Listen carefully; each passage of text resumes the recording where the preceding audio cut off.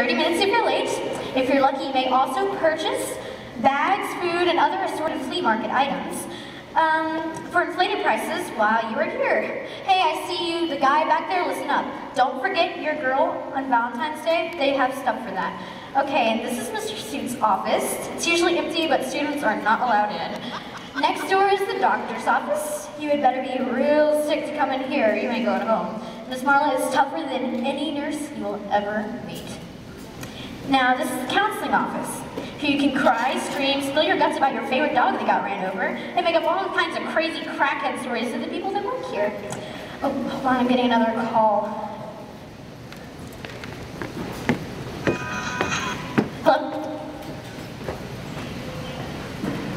What? Yeah, I, I don't know about school anymore. What? Hanging up on this fool. All right. Anyways, it's a total drama queen palace. Across the hall is the Media Center. You will spend a lot of time here buying overpriced candy, looking at Japanese magazines, and hopefully experiencing the annual Sports Illustrated Swimwear edition before it's yanked off the shelves or stolen by the 8th grade boys.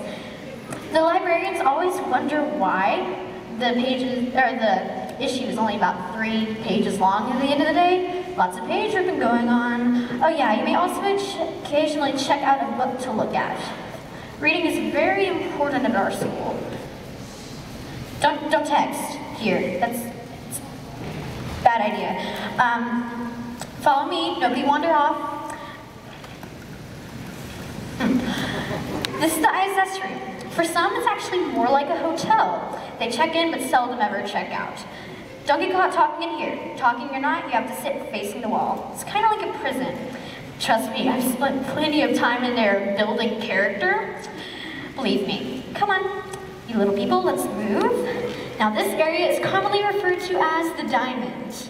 It's actually like the LA freeway, going four lanes and all crazy and hectic in the morning. Um, it's kind of chaotic. That's your lane down there. Goes to the sixth grade area. Mr. Sutherland, your new principal, lives down there. His office is lame. It's decorated with all this football stuff.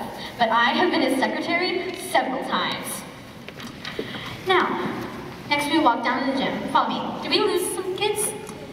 I'm sure they didn't go down the seventh grade hall. Seventh grade was great both years, don't get me wrong, but it's dangerous down there. There are turtles, snakes, bears, and a bunch of weird bald guys like Mr. Manis and Mr. Doxy all over the place. What? Um, my big sister has Mr. Doxy and he's not bald.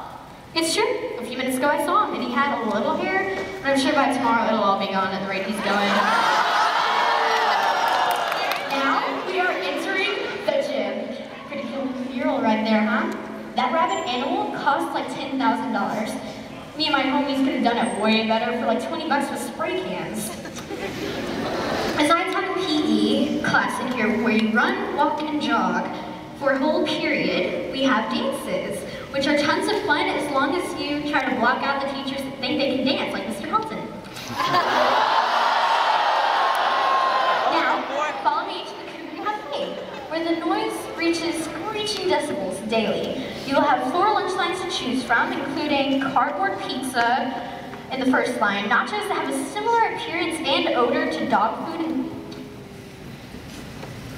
in the second line, and third line, you have chicken four ways, um, baked hot wings, what they call grilled, doesn't look very done, and in a delicious concoction with pasta, and in the final line, what expired last week. Come on guys, this is my favorite area, the Fine Arts Wing, where you will sing off course, or off key of course in chorus, compose music by banging on keyboards and piano, and make roly-poly people that are usually a cross between Shrek and Oprah, or fashion accessories out of duct tape and garbage in our art classes.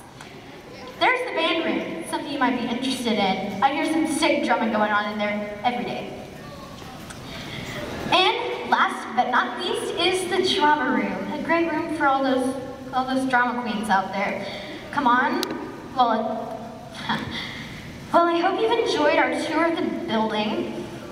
Um, it's roughly three miles up and down each hallway, kind of like an airport. Just don't lose your luggage, I mean your book bag. You probably won't see it again if you do. Tips are greatly appreciated. And as you exit, remember our slogan. If it's to be, it's up to me. Whatever that means. Enjoy your sixth grade year. And if you make it through alive, you will never be the same.